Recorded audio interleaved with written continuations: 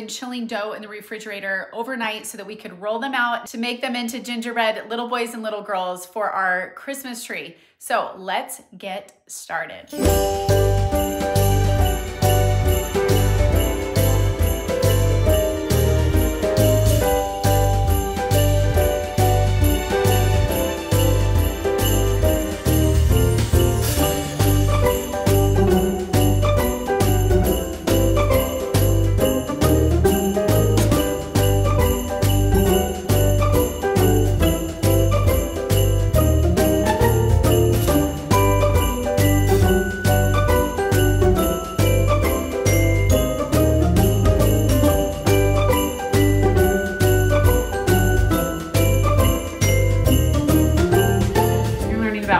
Flouring the Which surface, huh? Salt, Golden, Christmas tree, Golden.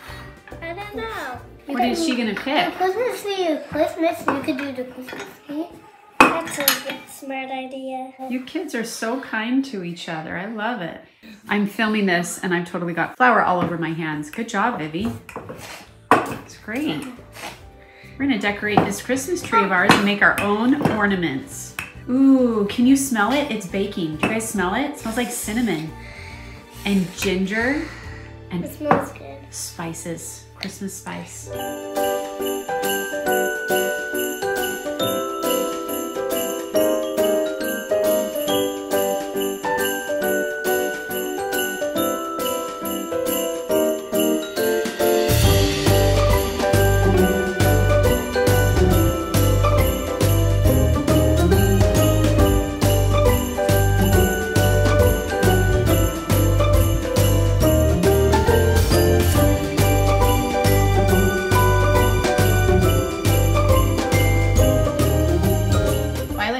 Onto her star so that you can tie it with the ribbon.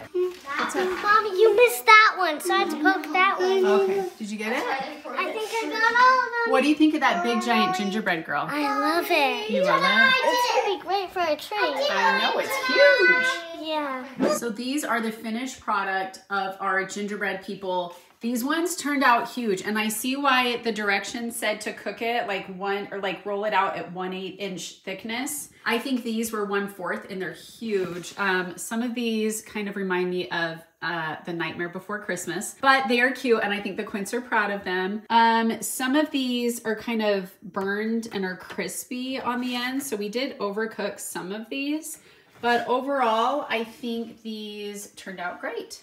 So the last thing that we're gonna do is we have already poked holes in these with a little straw we are going to thread these with ribbon. So I'll probably do this, I don't know, like tomorrow morning when the Quints are at their dad's. They will be with Skylar for Christmas. So you're gonna be getting two vlogs this week for me, but the kids are actually gonna be at their dad's house. So I will be sharing along the way over on my Instagram page, jamie.scott, just some fun things that I'm up to while the kids are gone. And I will be getting everything put under the Christmas tree because I did not wanna put Christmas presents under the tree just yet because I knew those kids would be sneaky sneaky and would open presents before Christmas. So anyway, I'm gonna get that all done. But thank you guys for watching this vlog. Love to you all. Merry Christmas. And I am so excited for Christmas this year and to see the look on the kids' faces when they open up their Christmas presents this year when they get back around New Year's to my house. So love you guys. Thanks for watching. I will catch you the next vlog. See ya. Bye.